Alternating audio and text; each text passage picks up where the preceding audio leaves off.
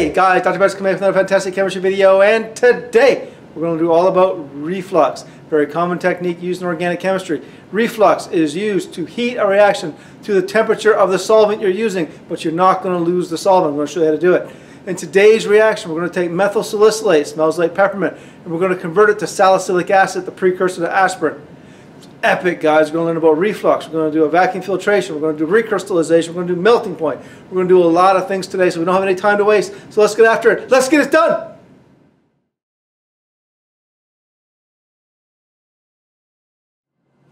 All right, class. Now I'm going to show you how to set up a reflux. Very simple.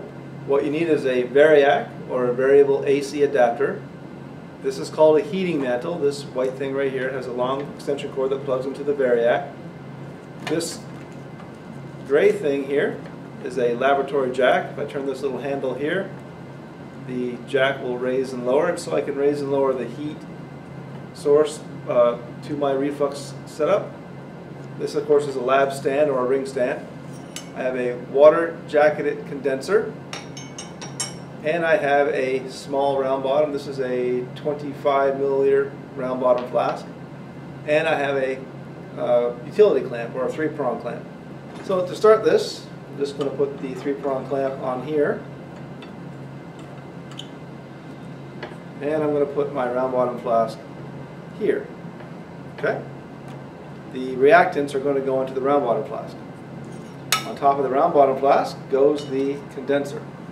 Now what's going to happen is I'm going to run cool water through this condenser and, and that's going to cool down any vapor that comes from here. As the reaction is going forward, this this round bottom, known as the pot, will be heated so that the liquid inside of here is boiling. The vapor from that liquid will go into the water-cooled condenser, cool down, condense, and then drip back down into the flask. That's a reflux. Gas goes up, liquid comes down. Gas goes up, liquid comes down. Okay? Now the reason why you'd want to do a reaction at reflux is so that you can have the reaction at the temperature of the boiling solvent without losing any solvent. And in today's reaction, the solvent will be water. Now, how do we get water, or sorry, how do we get the condenser to be cool? Well, we're going to have to run cool tap water to it using tubing. And here's how you put the tubing on. Notice, or you, you may not be able to see it on the video, but these little uh, nipples right here are barbed, and they're designed to hold on these kind of tubings, these uh, latex tubings. So let's just go ahead and put it on there. Just gotta it takes a little effort, but you can just, you can get them on there pretty easily. There's one on the bottom nipple, and here's one on the top one. There we go. All right, now I've got my tubing attached to my condenser. What I'm going to do is off camera. I don't. It's not close enough for me to attach it right now. I have to move it. But this tube, the bottom tube, is going to go to a water source. The top tube is going to go to the sink to drain. All right, so water is going to flow in this way, fill the condenser with cool tap water, and then flow back out. And that will keep the environment inside the condenser nice and cool, so any vapor that comes up into here will lose its energy, condense to the side of the condenser, and then drip back down to the reaction. All right, now, heating. Here I have my heating mantle. That goes underneath the flask. Here I have my VARIAC, stands for Variable AC.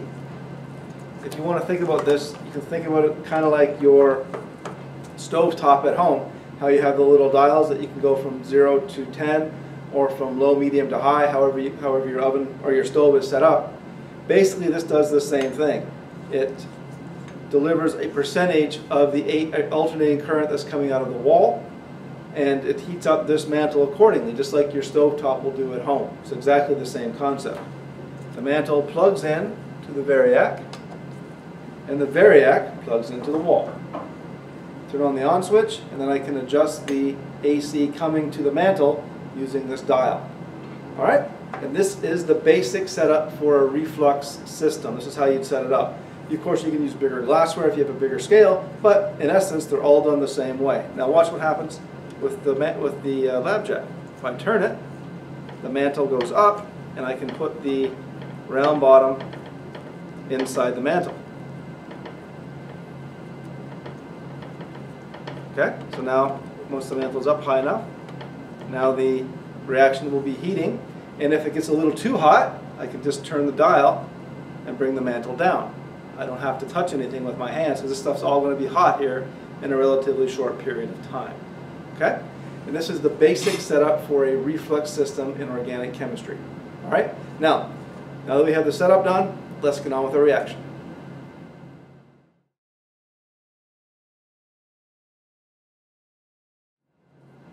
Okay class, now we're going to set up the reaction. I have my methyl salicylate right here. I have my 6 molar sodium hydroxide right here, very dangerous stuff. Got my safety goggles on, got my gloves on, got my coat on. And I've also got some boiling stone. Now these are just here to help the reaction to be able to boil off of a surface. Uh, the round bottom flask is a very highly polished surface inside, so it's good to give the reaction a rough surface to boil from.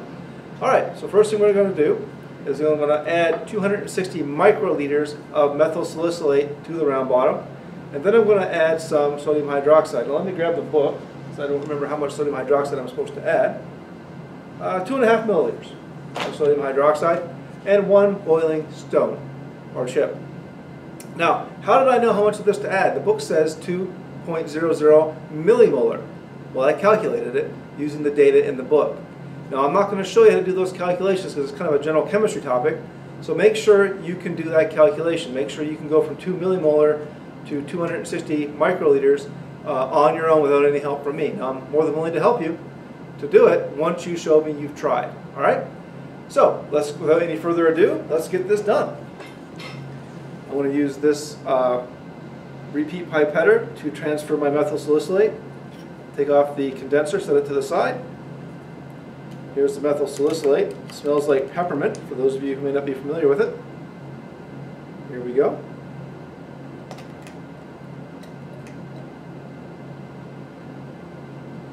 And there we go. Methyl salicylate is in.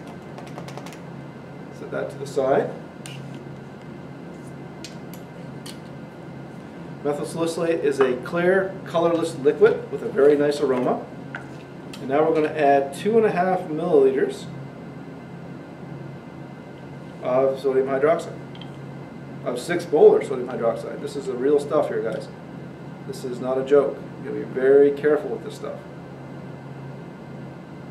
A little bit more. There we go. And in it goes. Now, I don't know if you can see it on the camera, but immediately upon the addition of the sodium hydroxide, I get a solid formation. And that's okay. That's okay. All right, I'm going to put the condenser back on top, close up my bottle. Oh, I need a boiling stone. Sorry, forgot the boiling stone. All you need is one. You don't need to put a handful in there, just one is enough. There we go. Now I'm going to move this over, plug it all together, raise up the heat, and we're going to let it reflux for 30 minutes. All right, so I'll see you guys in 30 minutes.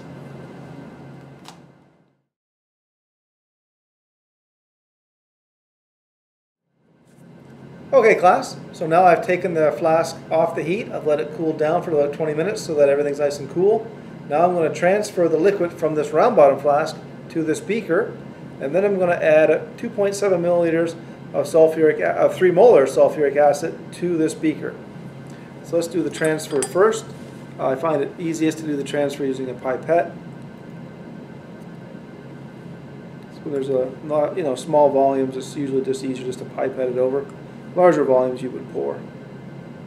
But it's only a few milliliters, so it doesn't take very long to transfer it over. Okay? There we go. Now, yes, I'm going to lose a little bit in this flask, so let's give it a little rinse with our acid. And you might be able to see it. It's starting to form a white precipitate in here, so that's pretty interesting. Let's see what happens when I put it into there. Oh, there you go. A lot of white precipitate now. There we go. Let's pour a little bit more in here, do a little more rinsing. We're going to lose a little bit in this flask, that's okay. It was really important, we can go after it with some cold water, which we might end up doing.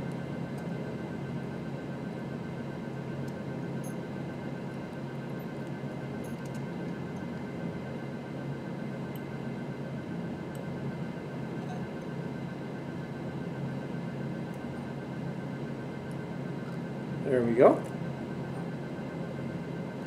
Now, other side, let's swirl this a little bit. And let's check the pH. I think we get some pH paper. I'll be right back.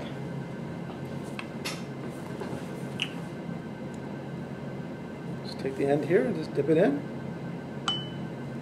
And it's about pH 4, so we need to add a little more acid. All right, I'll be right back. Okay, so now we're going to add a little bit more acid to here. Just going to pour a little bit in. Not too much. You don't want to go too crazy here. Swirl, swirl, swirl, swirl, swirl. And let's tear this off. And let's dip it again. See what we get. There we go. Now we're nice and red. That's that's definitely going to be pH 1, uh, maybe 2, 1 or 2, somewhere in there. And that's fine. That's perfect good, perfectly good pH. So now let's get everything out of the way. Bring an ice bath in. I'm going to set this in the ice bath and we'll find a weight to weight it down here. I'm going to set it in the ice bath for about 5 to 10 minutes, get it nice and cool. Again, you might want to think about why am I cooling it at this step? What's the advantage to cooling it right now? All right, so we're going to leave it here. We're going to come back in the next segment. We'll do a filtration, recrystallization, and then we'll melt it. All right, see you soon.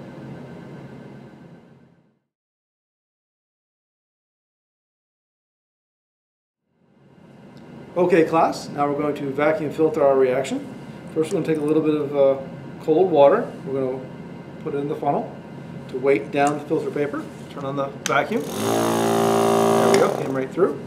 And here is our nicely cooled sample. Just going to pour it, oh, turn the vacuum on. I'm just going to pour it down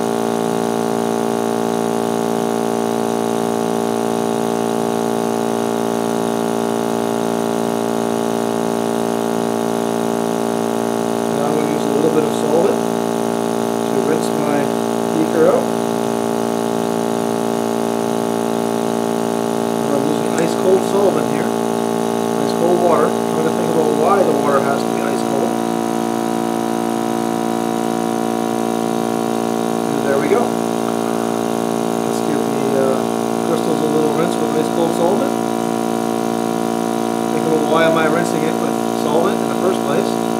Specifically, why is it cold and why are we doing this step? Okay? Now, at this point, we're going to let this uh, dry for a few minutes and then we're going to recrystallize it. Uh, we're recrystallizing it from water, so it doesn't really matter if I let this dry completely or not because we're going to be adding it right back to water anyway. After the recrystallization, it's very important that we allow it to dry. Alright? So we'll cut the video here. We'll come back in the next segment. I'll show you how to do the crystallization of this material. Alright guys, see you soon.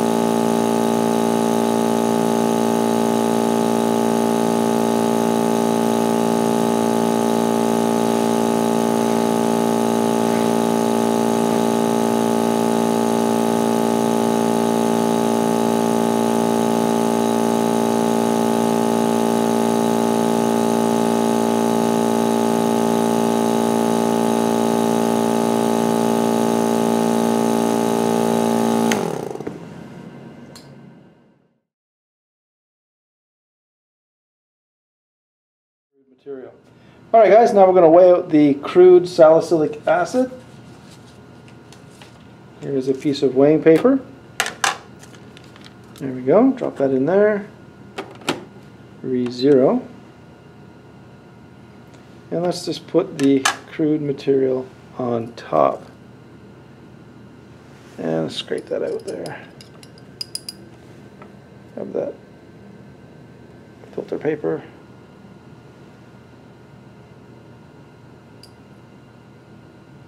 There we go. A little bit from the filter paper. All right. Let me put the cover on. There you go. And that is our crude yield or the yield before purification, or the mass before purification, if you want to say it that way. All right, so now let's go and recrystallize. See you there.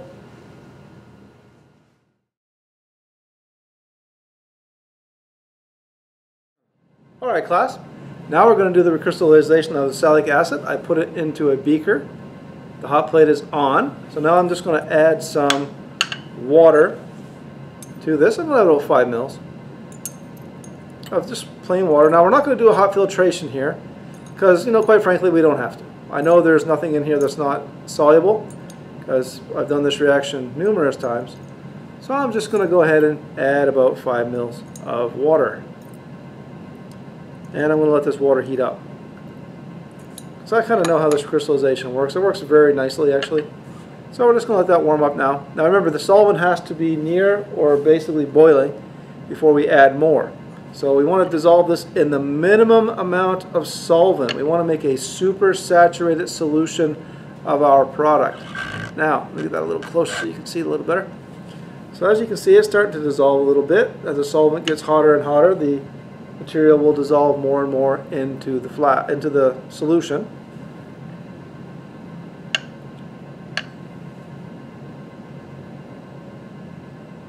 Okay, here we go. Starting to get hotter and hotter. You can see it. You can definitely see that the material is dissolving nicely.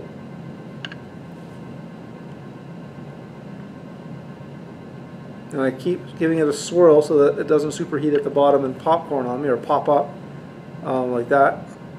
That's definitely going to start boiling here, so let me add some more water. So as you can see, the material didn't all dissolve. So we got to do add more solvent. Because remember, we want to make a super saturated solution, so everything has to dissolve. Everybody has to dissolve.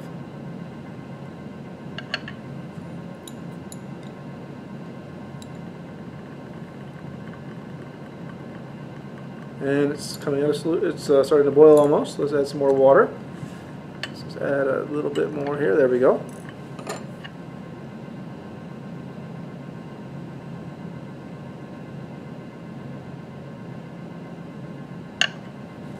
It's getting there, it's getting there, it's getting there. I may need a little bit more water, so let me get some from off screen here.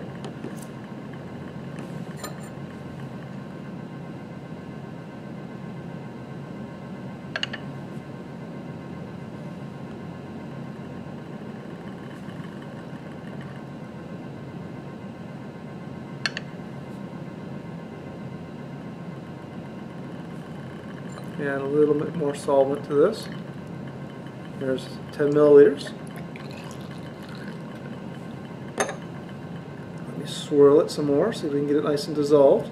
Don't want to add too much water, so I'm thinking if we just swirl this a little bit, it'll be okay. Let's, let's just see if we just swirl it, if it'll be okay. I can add more water, it's not a problem. But it's never a good idea to add too much water because then it will come out of solution and you'll have even more problems. Oh yeah, it's going. I can see that it's going. It's just taking a little bit of time. And that's okay. That's okay.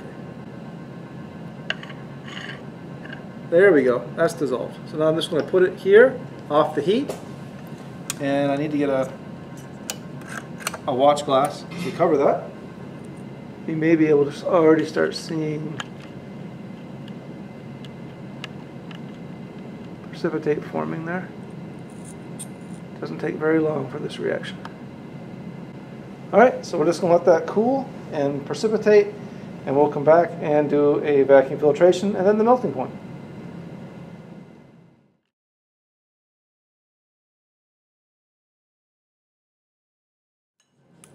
Alright guys. Alright class, now we're going to filter our nicely recrystallized uh, salicylic acid. So let's get the filter paper ready. It's already inside the funnel. Weigh it down with a little bit of solvent, water in this case.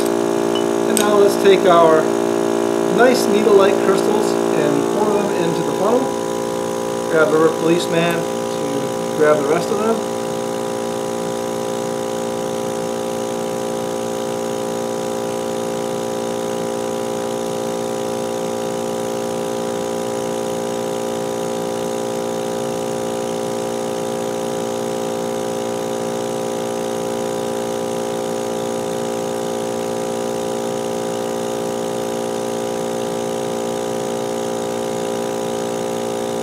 And so now a little funnel issue here.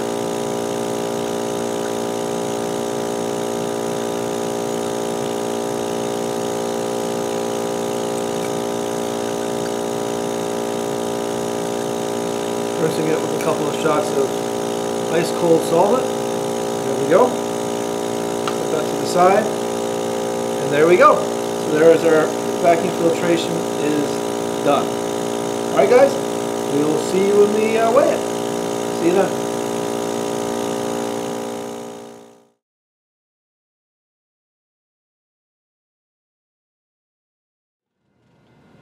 Alright class, now we're going to get the final mass of our purified product. So let's put a weighing boat inside of the scale and then re-zero the weighing boat. There we go. And now let's put our purified needle-like crystals in the dish. I've already removed the filter paper, so we don't got to worry about that. And we'll get most of them, best we can. There we go. That's most of them. There we go. Let's put the cover back on. There we go. And there is the final mass of purified product. All right, now the next step is to do the melting point, which you will see the data displayed on the video here momentarily. All right, so write down the melting points, or the melting range, excuse me, and then do up your lab report, and I will see you next time. And uh, with that, I want to wish you all good luck and good chemistry. We'll see you soon.